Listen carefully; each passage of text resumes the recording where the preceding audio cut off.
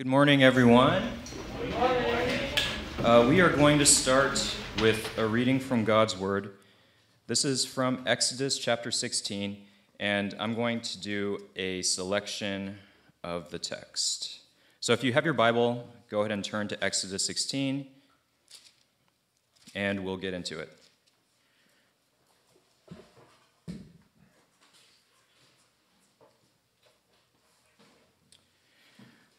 We'll start with chapter 16, verse 1.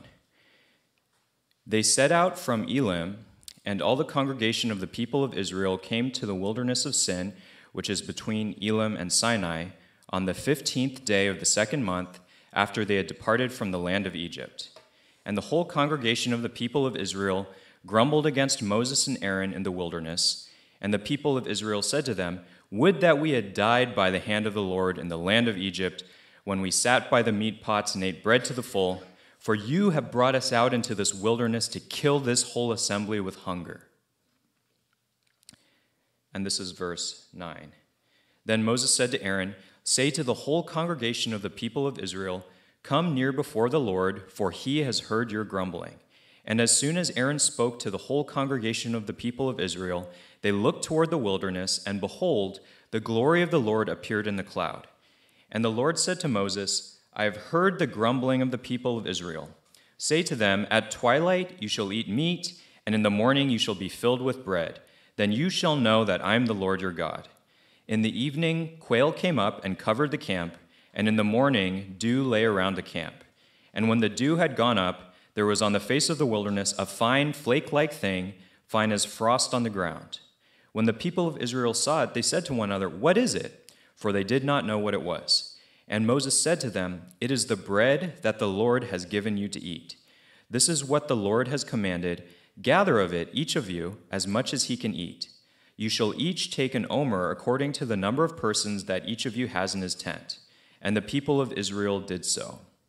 They gathered, some more, some less, but when they measured it with an omer, whoever gathered much had nothing left over, and whoever gathered little had no lack. Each of them gathered as much as he could eat. And Moses said, Let no one leave any of it over till the morning.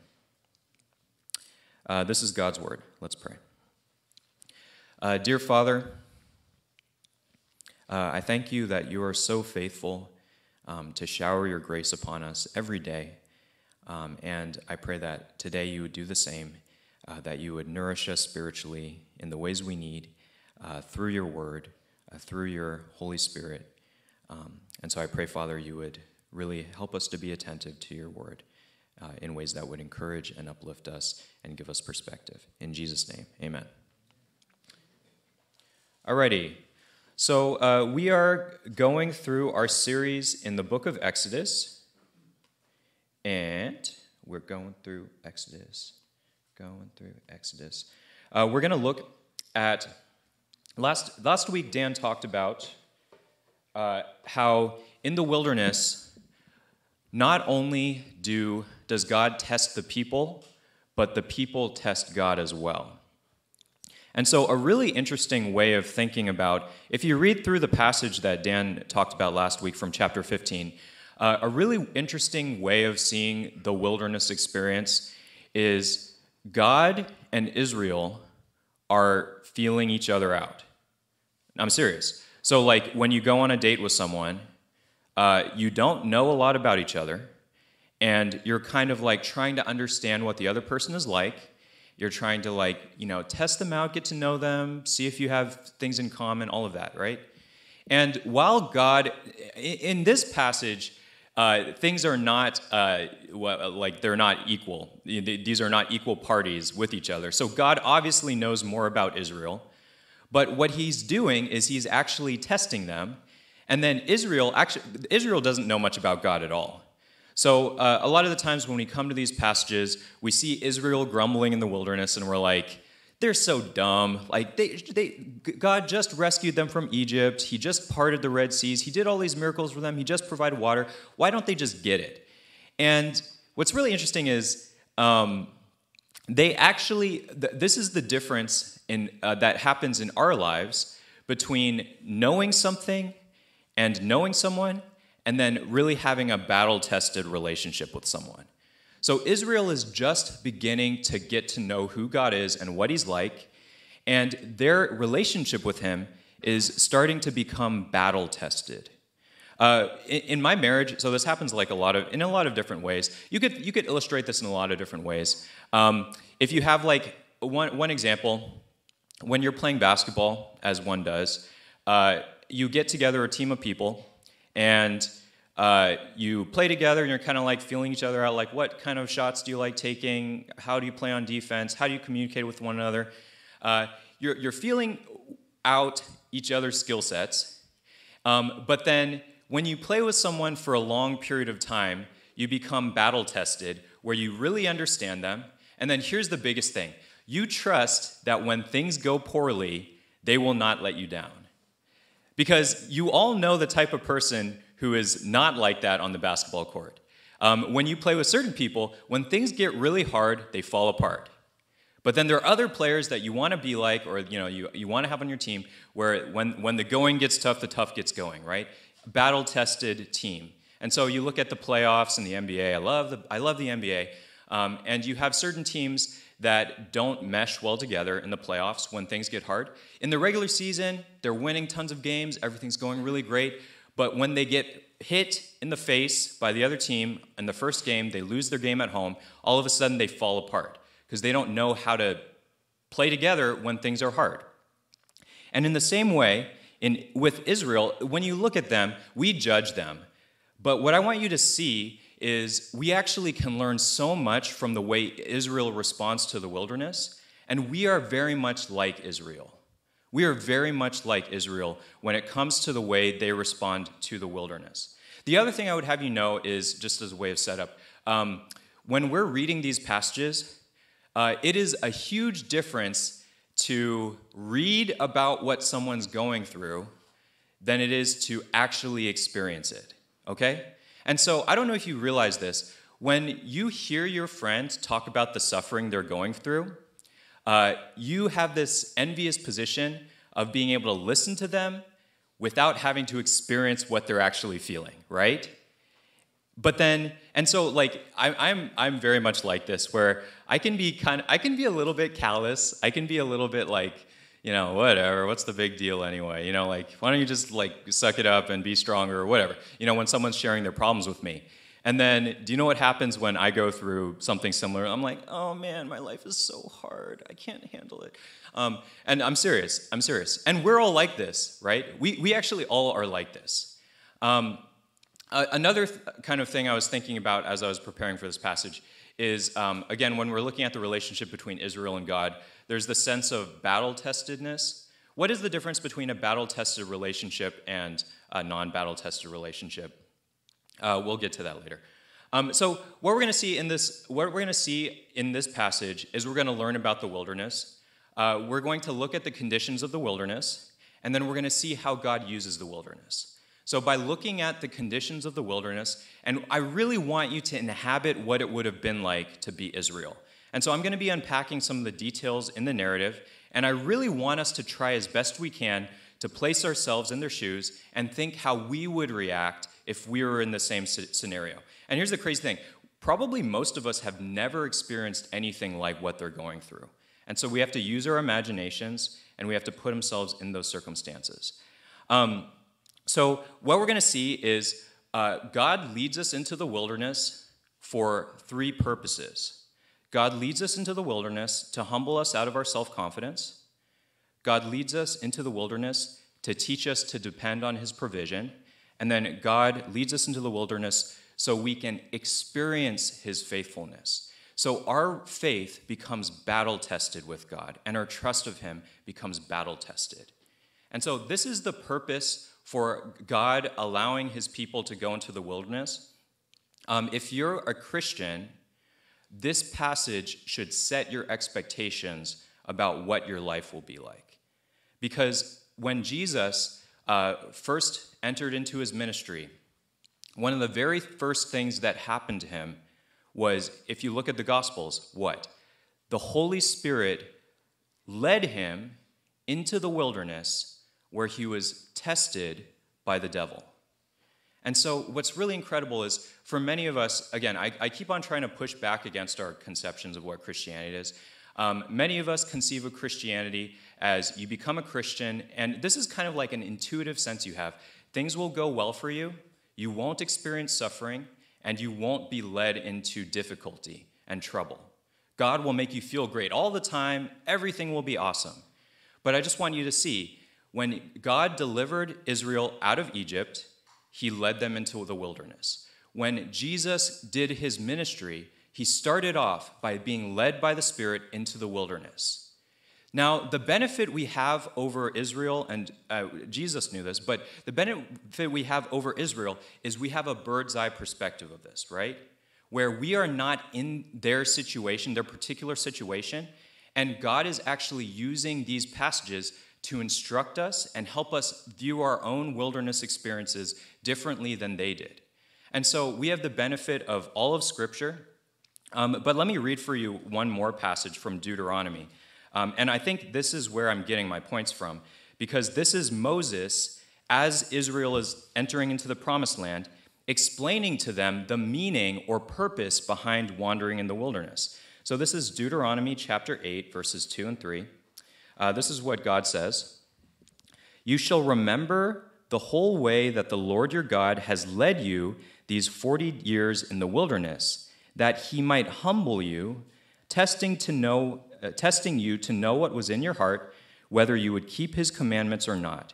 And he humbled you and let you hunger and fed you with manna, which you did not know, nor did your fathers know, that he might make you know that man does not live by bread alone, but man lives by every word that comes from the mouth of God. And so we see Moses' explanation of the wilderness wanderings. And he says, You actually, you hated the wilderness, but you needed the wilderness. And in our lives, we hate the wilderness, but we need the wilderness because the wilderness first humbles us out of our self confidence. So, the first thing I want to see is I want to look at these wilderness conditions. We're going to imagine what it was like to be in the desert. So, this is from 16, uh, verses 1 through 3 ish. So they set out from Elim, and all the congregation of the people of Israel came to the wilderness of Sin, which is between Elim and Sinai, on the 15th day of the second month after they had departed from the land of Egypt. So Israel was delivered by the Lord out of slavery, and they started wandering, um, they started traveling. So they started traveling on the first month, the 15th day of the first month. And so they had been wandering for 30 for a whole month.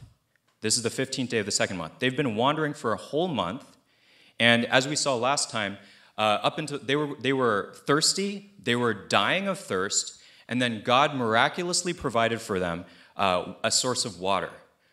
And so they were their thirst was slaked, and then they kept on wandering. And so they've been wandering for more days. They've been wandering for 30 days. Um, if you were in their position, how do you think you would feel? Uh, do any of you get super duper hangry? Like the when you're really hungry, you get really angry. Like raise your hand. Any so yeah, my, my wife gets really, really hangry. She gets really hangry.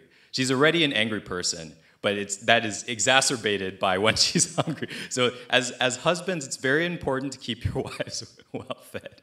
She's she's she's angry with me right now. Um, but so in the wilderness, um, like so again they're going through a situation that we do not envy and so we, we really have to try to like use our imagination this is where it's like if you think about movies where explorers are lost and they're in peril or you just try to imagine what would it be like to travel through the desert? And what was it like for them in, in the desert? In the desert you experience all kinds of things. You experience scarcity right? The desert the wilderness the phrase wilderness is basically an environment where nothing can live and thrive. And if you look at, if, if you're a biologist or whatever it might be, like you, you look at the types of animals that can survive in the desert, um, it's like lizards or like snakes or like, th- there are certain animals that can survive in the desert, but it is very inhospitable to any sort of human life. And so you can't even find the lizards to eat. Like it's hard to find the lizards. It's hard to find anything to eat. Everything is scarce, water is hard to find. And not only this, in many desert climates, there's such a huge fluctuation between temperatures during the day and the night. And so you watch movies and like you're like freezing, you're freezing to death at night, and then in the day you're just like you're, you're so hot and it's so miserable. Um, the other thing about the desert is the desert is dry. Um, there's no humidity in the air, and so you start drying out. Like your body, just everything starts drying out. Um, what, what's like the thirstiest you've ever been? You know how, okay, probably the thirstiest you've ever been is like when you were in PE, like having to run a mile or like, you know, in junior high or whatever. Like, wh- what's the thirstiest you guys have been? Can you think of another example? What's the longest you've gone without drinking water? Or what's the situation you've been in where you've been the thirstiest? What does it feel like?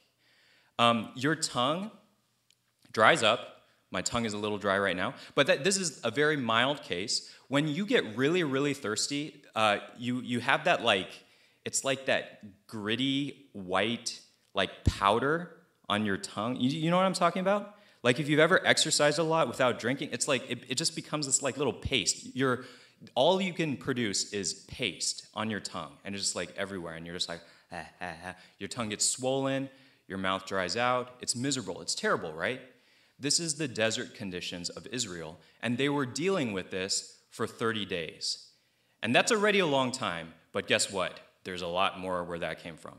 Um, they were going to wander for 40 years, and they were experiencing hunger. Now, when we're reading these passages, we, we don't see these people as real people, but they were real people. And so, if you were in a situation uh, where you were starving and you were thirsty, how would you approach that issue? What would you do? You would try to find food. You would forage for food. You would look everywhere. You would send out scouting parties. They would do everything that they could to provide food for everyone. But guess what? They couldn't find any food. They were completely at the mercy of their environment, and there was nothing that they could do. All their ingenuity, all their efforts, all of their desperation, all of their intelligence, none of it could actually provide the things that they needed to get water, food, shelter, all of that stuff, right? And so the desert, in our lives, the desert is akin to being starving, to being thirsty.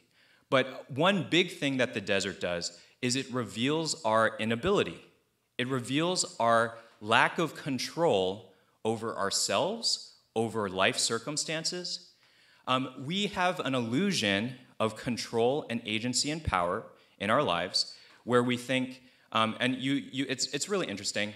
This is one example I've talked about before. Um, when you get people who have made a lot of money, what's really interesting is often you find that they think that they know everything about everything, not just about making money. Have you ever run into someone like this? They feel like because they have fluency in this one area, and money can do a lot of stuff, right?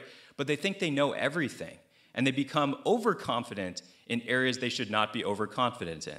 Money is one example. Being smart in a certain subject is another example. Where um, I'm to make fun of my dad for a little bit, but uh, my dad is a really, really smart guy, and some of you know him. Uh, but my dad is not a doctor, yet he thinks he knows better than the doctor.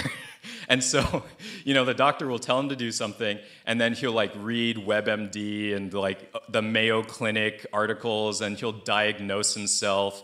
And then he'll go to the doctor and be like, oh, this is what I think I might have. And the, the doctor is like, well, based on your um, based on your long med school experience and many years of being a doctor, I concur with your conclusion. No, it's like, and then and then not only will he do that, but it was it's like this is the really tricky thing. Smart people are really good at finding evidence to confirm their belief, their pre-existing belief, right? You know, you know what I'm talking about, right? And so my dad will always he, like it's like smart people don't necessarily make the right know the right thing or do the right thing, but they're really good at backing up what they do do, using and make it sound really convincing and smart.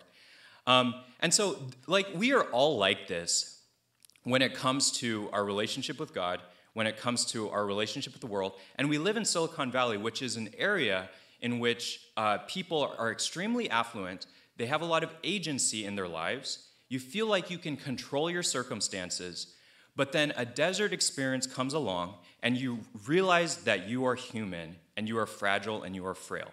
Despite all of your efforts, you can't fix your marriage, or you can't fix your relationships, your relationship with your parents, or your relationship with your kids. You can't do it.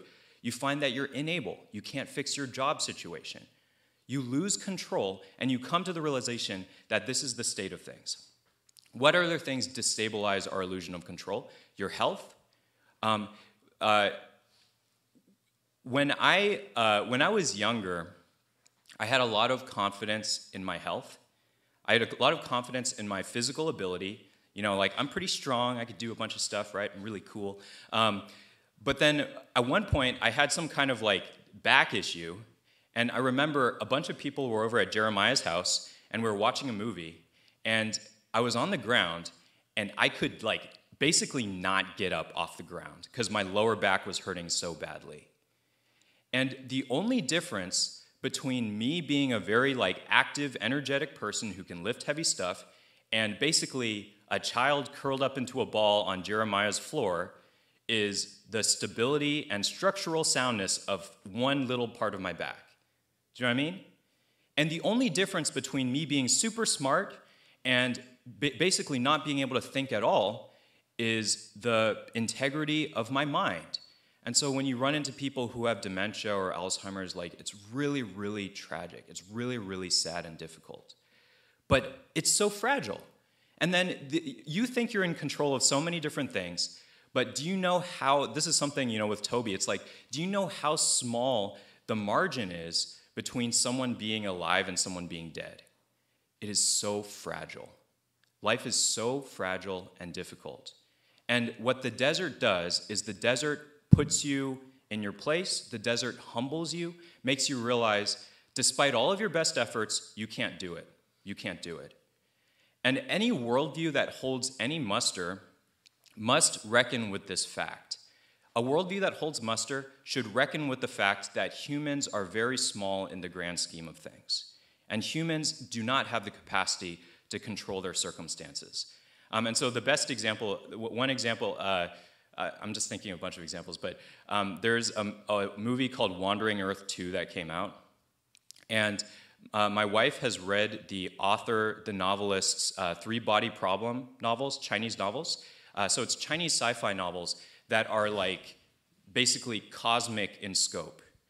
And uh, the, the premise of Wandering Earth number one is the Earth is basically like what what is the Earth gets like knocked out of orbit and it's gonna like fall into the sun or something. I, I forgot the details, but basically the Earth they need to find a new place for the Earth to be, and so they build 10,000 Earth engines to basically turn the Earth into a spaceship to fly away to a solar system where they can find like in, they can re-inhabit uh, and like live, right? And so it's a really interesting premise but have you ever thought about how tenuous the state of the earth is? When you think about these scales, at some point in the future, um, the sun will expand and swallow up the earth. At some point, the sun will, like the, based on the life cycle of a star, the, the, this solar system will no longer be inhabitable, and the earth will no longer, uh, we, can't live, we can't live on the earth anymore. At some point in the future, billions of years in the future. I'm thankful it's billions of years in the future but we don't have control. And it's like, what would we have to do? What kind of human ingenuity would we have to do in order to save ourselves? And this is why Elon Musk wants to send people to Mars and inhabit Mars and eventually just like spread humanity all over the solar system, the universe, in order to preserve our tiny little group of people, right?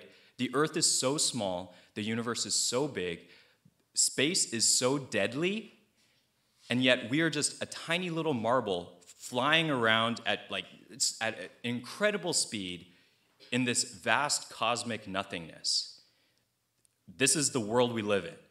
This is the desert we live in. And we, when you think about yourself that way, it really changes. Like, you are humbled, right? You, are humbled when you think about the scope of the universe, but you're also humbled when you run into your own inability to determine your lives. And so I think about this in a lot of different ways.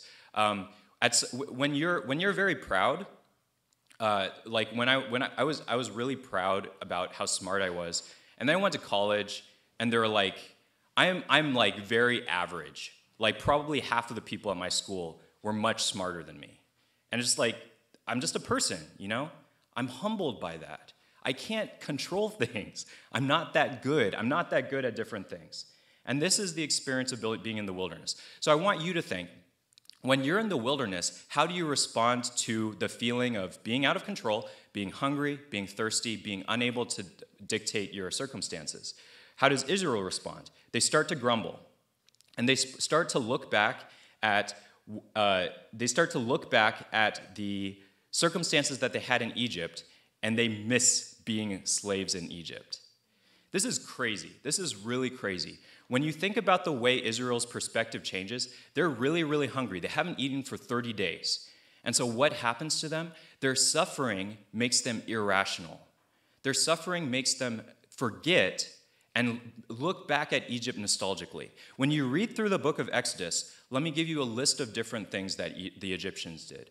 The Egyptians slaughtered Israelite children so that they didn't become too powerful of a nation. The Egyptians forced them to do work under extremely inhumane conditions. I would even say the conditions Israel worked in are even worse than your work conditions in Silicon Valley. Yeah, I know, pretty crazy, right? Even worse than your job was the job of being a slave in Egypt. Um, but what did they, and so they weren't fed very much. They weren't fed very much. They, it's not like they were having like a seven course meal every day. Um, when you look at, when you watch Natural, National Geographic, supposedly there is some kind of like really heavy, nutrient rich grain beer that the slaves who built the pyramids would drink because it both nourished them and then maybe it was like a maybe it, it, like you know made them feel happier so they would keep working you know? They got drunk. I don't know. That's i read an article about that. I don't know if it's true or not. But maybe that's what they were eating. Maybe that's what they were drinking and so their conditions were not good but what do they say they're so spiritually deluded they're so desperate that they say i wish we were back there in egypt that's really crazy and then they, uh, they imagine or they think back to their circumstances. We sat by the meat pots and we ate bread to the full. We had a great time in Egypt. Slavery was awesome. That's, that's how crazy they are, right? But, but aren't we like them? Where when you're suffering, you lose all perspective. When you suffer a very small slight, that can just blow out of proportion, where all of a sudden that is the greatest injustice that anyone in the world has ever known. You know? You know? You know what I'm talking about, right? And so suffering can really narrow our focus, it can make us self pitying and self centered, and it makes us irrational where we look back on previ- previous circumstances as better than they were. And so this is like the grass is always greener effect, right? If I had this job, I would be happy. I get the job, I'm totally unhappy. If I had this job, it would be happy. And then you're at this new job and you're like, this manager is worse than any manager I've ever had. I really wish I could go back to that first job that you hated really badly and wanted to get out of. Am I wrong? Like, have you gone through something like this? This is what we're like. And so the wilderness humbles us out of our self confidence. But the crazy thing is, God does this for a purpose. In Deuteronomy, it says, God did it. God led them in the wilderness. And that both means God led them into the wilderness, but God led them through the wilderness, right? Where God intended them to go into that arid desert, into those inhospitable circumstances. Why would God possibly do that? And this is where we get something really crazy from the miracle, from the manna and the quail.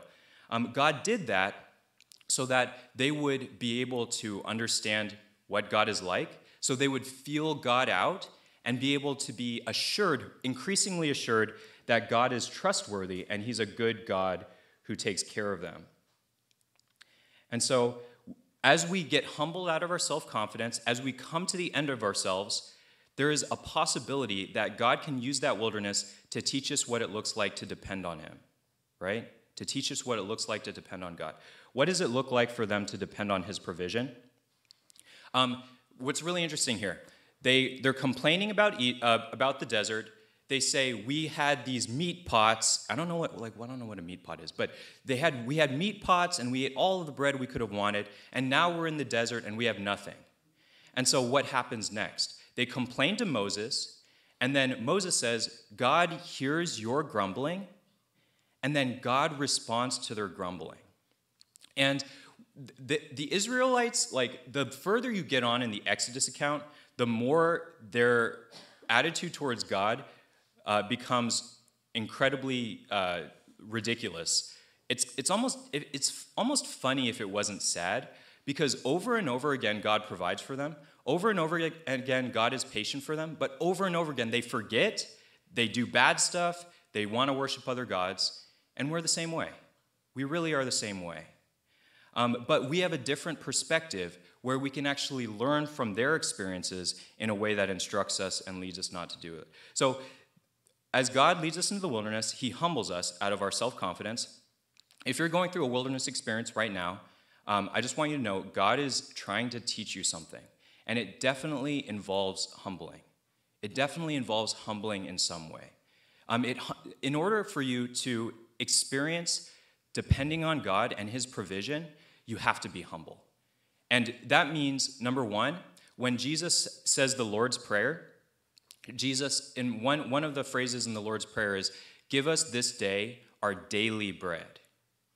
And he is basically saying, this passage is saying, uh, the Deuteronomy passage is saying, apart from God sustaining you, all of us would fall apart in an instant. In Colossians, it basically says that, you know, in, in the book of Acts, uh, Paul says, In God we live and move and have our being. In Colossians, it says that Jesus Christ is the one who holds all things together. And so, if you think that you can hold yourself together in any way, physically, emotionally, spiritually, without God, go to the wilderness and learn the lesson that you can't. When you go through extremely bad depression, you are powerless and you really feel it, or a really bad addiction. You're just like, I can't do anything. I thought I could control myself. I just can't. I can't help myself from ruining my life. This is how this is how difficult it is. This is how difficult the wilderness is.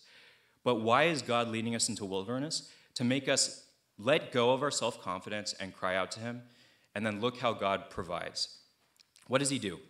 Every day, He's, uh, every day there are two different meals. There's the quail, and this is really cool because when the people of Israel grumbled against God, God could have said, "You, you like ungrateful people! I just led you out of Israel. Why are you complaining?"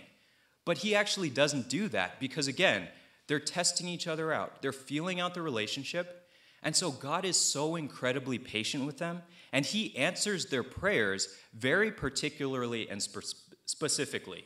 They're grumbling, they're complaining. But what do they want? They want meat pots and they want bread. So what does God give them? He gives them quail and he gives them manna. And manna means what is it? Like they don't know what it is. And so they're a really interesting kind of, um, they're, uh, anyway, okay, I won't get into that. Um, so he specifically answers their question, their prayers, in a very gracious way where he gives them what they're asking for. And so when you think about this from God's perspective, what is he trying to do to provide by providing for them? He is showing them every single day. Every single day in the desert, they can't find food on their own. But every single day, God provides for them quail and God provides for them manna. And so day after day after day, they would have gathered the food that they would have needed and they would have distributed among their family, and that's the only thing that was keeping them alive. That's how serious it was. The only thing keeping them alive was this provision from God. The only thing keeping them alive in the desert was this provision from God. What lesson is this teaching them?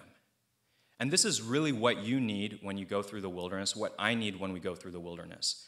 What we need is a consistent, like, we need to understand the character of God and experience it over and over and over until God breaks through our spiritual blindness and we begin to deeply trust Him. So let me use an example from um, our marriage. So we haven't been married that long, but there is something that happened whenever we would get in fights, like throughout our throughout our marriage up to this point. Um, so uh, there, there's like a pattern that would happen in our fights where I would be like, I would basically be not doing very much or not contributing, and then Ashley would call me out about it, which she rightly would, And then she basically said, like, you're not helping me with this task. I would like you to help me with this task. And then I would say, like, basically, are you saying I don't do anything? Are you saying I'm useless as a man? Like, I'm serious. The way I would interpret what she said was that I would feel insecure about myself and I would think she's saying something different, where she's actually trying to attack or criticize me personally and say I am less of a man or something like that. But then what's really interesting is when we'd work through those fights over and over again, she would, I would share how I was feeling, and she would say, That's not what I mean. That's not how, that's not what I'm intending to say to you. And I still felt like that. But over time, as we had that fight over and over again, I started to believe her, you know? I started to trust that what she was saying was actually not for my ill. She wasn't trying to like tear me down. She actually wanted to like address an issue that we had together as a couple. And then at some point, I feel like I could trust her more and I could actually believe that. And so in that moment, sometimes I still feel like insecure. But then I remember, based on past experience, based on the pattern of our interactions, she doesn't mean that. Now, probably there are examples where she does mean that, but like that's where it gets tricky. But, but it, like at the, at our deepest heart of hearts as a married couple, like we love each other, and that's what I can kind of rely on to help me interpret her in the way that she should be interpreted. In the same way, with God, what we need is a long history of God providing manna in the wilderness and to experience it in a way that helps us to trust Him and now, so this wilderness experience, if you depend on God's provision, will grow your faith in Him. Do you see? Do you see what? Can you imagine what it would have been like? Seven days a week, 52 weeks a year, for 40 years, every single day, they were absolutely dependent on God, and He never once let them down. He never did not provide the food that they needed to survive. Do you know what that would do for your trust of God? Now, the crazy thing is, it didn't do much because they still didn't trust God. And that's actually really bleak for us because we cannot follow their, like, we can't even do it. But then again, like I alluded to before, um, when Jesus came to this world, uh, when Jesus was led by the Spirit out into the wilderness, Jesus perfectly depended on God for provision, and he modeled what we should do, but also he lived that perfect life that we couldn't so that we could be saved. So the grace of God acts before we do anything to deserve it, but then the wilderness experience is giving us perspective where we can say in the middle of the wilderness, when I am humble, I say, Look, God, I don't know what I need. I, if you are sending me into the wilderness, there must be a good reason that you're doing it because I have experienced past wildernesses and I've learned how they humble me how they make me closer to you, how they help me trust you more. And so, this is God teaching us to depend on the wilderness. We don't want the wilderness, but we need the wilderness. So, let me, let me use an example. Um, when I was in college, uh, I was going through a really, really difficult time in my faith. I, I, shared this before. I made an ultimatum with God. I'm like, I don't believe in you. God, you have two months to like convince me that you're real and that you're good, or else I'm gonna not be a Christian anymore the circumstances I was going through, again, I would not recommend people to test God like that, but he came through. Um, the circumstances I were going through was I was um, having like a, I had a fractured friendship with a really close friend that made it really, really difficult for me. I felt really, really miserable, and there was nothing I could do to like reconcile that relationship. Um, and in that moment, I hated it. In that moment, I was angry with God. I was furious with Him there, there's a point where I was running, I was doing some running, and I was running back to my dorms, running by cars, and I really wanted to punch in a glass window of some random car on the side of the street. I'm not an angry person, I don't think. I'm not, I'm not violent, but I really wanted to do it, and I didn't do it because it would hurt my hand, and I would have to pay for it. But th- that's how I felt. That's how I felt towards God. And the incredible thing is, that was me in the wilderness. But then now that I'm out of the wilderness, do you know what happened during those two months? Number one, God deepened me intellectually, where I read C.S. Lewis over again, I read the Gospels over and over again, I listened to sermons, And my faith was more confirmed intellectually as a result of my doubt and my struggling. I felt more assured in God than I did as, uh, as before as a result of this doubt, as a result of this wilderness where things are scarce. I don't, I was, feelings were scarce. My feelings towards God were totally gone. I'm like, where are you, God? What are you doing? But then now I have the perspective where the whole time, when I look back on that, the way I felt was totally out of touch with what God was doing because God was humbling me.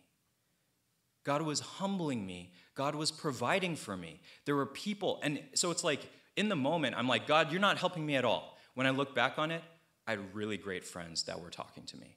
My campus minister was praying for me and caring for me. Like all kinds of people were caring for me. God was putting like putting in my hands. This is one of the coolest things that God does for me. I love reading. And when I go through hard times, every once in a while, God will, in His providence, stick in my hand. I mean, sometimes I buy it on Amazon, but I see that also as God's providence. He will stick in my hand the exact book with the exact passage that I need to communicate to my heart how much He loves me or some truth that encourages me, some, some thing that gets me through. And that is the particularity of God's provision. Where you see in the desert, in the wilderness, they gather the manna. Some people gather a lot, some people gather a little, but every single person has exactly what they need. You, did you catch that detail? So that means basically there are some really big, strong guys like Lawrence. Lawrence can pick up so much manna. He could just like pick up sackfuls of manna and just throw it on his back, and he's like, you know. But then there's like someone like I don't know who's a small person, Callie, and Callie can't carry them. You're, you're small now, but you're young, so maybe one day you'll grow to be as big as Uncle Lawrence. Um, he, she can't carry very much. But God knows exactly what she needs, and so God gives them exactly what they need to eat. It's particular. That is how patient God is with them. Even when they're grumbling, He cares for each individual in a very specific way. And so in the wilderness, He will care for you in that way as you go to Him, as you turn to Him. So, what does this look like? It means gathering the manna. Like, I, I want you to notice this. This is what uh, Tim Keller said. Um, God very easily could have zapped the manna into their stomachs. It's, it's pretty funny, right? Where it's like, why didn't God just be like, zap, you're full. You wake up in the morning, oh man, I'm hungry. I'm going to drink some coffee. And then zap, oh, my stomach's full. Ashley would love that. Um, but that's not what he did. He gave them the way which they gather the manna. And this is, uh, now, like, I want to be careful about how we apply this um, what I think this means is there is both a passive and an active component to our relationship with God. If you're in the wilderness, you have to take action and you have to do something to gather the provision of God. And so the, the other thing is, I would say, so this is not like you have to be perfect in your quiet times and you have to attend church every week and you have to do all the things right. Because I know what it's like when all of those things are nearly impossible. And God is so incredibly gentle and gracious with us when we're struggling that He will, he will basically take any small effort in His direction and He will respond to that incredibly powerfully with graciousness. And so He doesn't expect you to do more than you can do, but there has to be some way that you go and gather the provision of God. And so, what does this look like? Uh, this looks like the ah prayers. Oh, yeah, that got your attention, didn't it? Ah, no. The ah prayers, where you don't even have words to pray for what you need. You are so desperate and you are like, you're unintelligible because you are so um, overwhelmed by grief or difficulty. And God responds to that so powerfully. He loves that type of authentic prayer in the wilderness. He loves that far more than our like polished, like Christiany prayers that we do when, the, when Daniel asks you to pray at the end of Bible study. Way, he loves that way more. He will respond to any effort you make towards him. But for some of you in the wilderness, if you are not making any effort and then you're complaining that God isn't providing for you, God has left the manna there for you. You're just not gathering it. You're not bringing your hand to your mouth to let God nourish you. And so I just want to encourage you with that. God is so faithful to provide, and the regular means that God uses to give grace to you are the ways that He will use to get you through the wilderness, which means basically to pray to Him, to say to God, Give me today my daily bread. And then scripture, where, uh, you know, there are passages all throughout scripture. In Deuteronomy, it says, um, We do not live on bread alone, but every word that proceeds from the mouth of God. And so God is saying, Look, if you want to have perspective in the wilderness, if you want to have encouragement and comfort and strength to get through what you're going through, turn to Scripture, turn to prayer, turn to God so that you can be nourished by Him. But here's the crazy thing I think ultimately, um, the way that God provides manna in the wilderness is in the person of Jesus Christ. In the, in the Gospel of John, uh, when in chapter 1 of uh, the Gospel of John, it says, In the beginning was the Word, and the Word was with God, and the Word was God, describing Jesus Christ. In John chapter 6, Jesus says, I am the bread of life. What John, the author, is saying is Jesus is the Word who is bread of life for the people who turn to him and believe in him. And just as in Deuteronomy it says, Man does not live by bread alone, but every word that proceeds from the mouth of God, Jesus Christ is the bread in the wilderness. This is a foreshadowing of Jesus coming to the world as bread, as the mission of God, the word of God spoken by him to meet us in the wilderness and to provide for us and to satiate us. If you're empty, if you feel like you got nothing, turn to Jesus, the true bread of life. He will provide for you, He will meet you where you are in your wilderness, and that will give you strength to endure. And then the other thing is the beauty of the Christian life is you might know that God loves you, but it is only in the wilderness that it becomes experiential, where you can taste and see the goodness of God. And there are some precious moments where you are at your most lost and most desperate, most downcast, where God meets you of his own accord, purely out of his grace, and he encourages and comforts you exactly in the way you need. Your circumstances haven't changed. I've experienced this a few times. Your circumstances are still as they are. You still have the troubles and problems that you are going through. God doesn't promise that he will necessarily remove those in this moment. But what he does do is gives you a sense of assurance and his love and perspective, and that strengthens you. It's manna in the wilderness for you to get through. Will you turn to Him? Will you gather through Scripture, through prayer? You're already gathering by showing up here, but continue to gather, continue to trust Him, and then you will be, you will be blown away by, as time passes, your, your relationship with God becomes battle tested. And the next time when you go through the wilderness, you'll, you'll have a map. You won't, you won't fall apart in the same way that you did the first time. Why? Because God is so trustworthy. You know that you, things are so uncertain, you don't know what's going to happen, but God is so trustworthy and good. Uh, let's pray. Dear Lord, um, I thank you that you are so faithful to us. Um, I thank you that you are so gentle and gracious and even when we grumble against you, you still love us, you don't give up on us, uh, you reach out to us. And what we need, Lord, more than anything, is to hear from you, to hear your perspective. And then I pray, Lord, by your grace, you would create in us the desire to respond with obedience, uh, to respond with uh, trust and acceptance of our circumstances. Um, and I pray, Lord, you would give us a vision for even how the worst things that we go through, the deepest, darkest wildernesses, um, where all normal provision runs dry, would be a place where we would meet you and you would meet us and provide for us and give us incredible testimony of your provision. Um, we pray you would do this in each one of our lives. I pray you would particularly apply um, and provide for uh, my brothers and sisters uh, this week, today, um, as we go from here. We really love you and pray this in Jesus' name. Amen.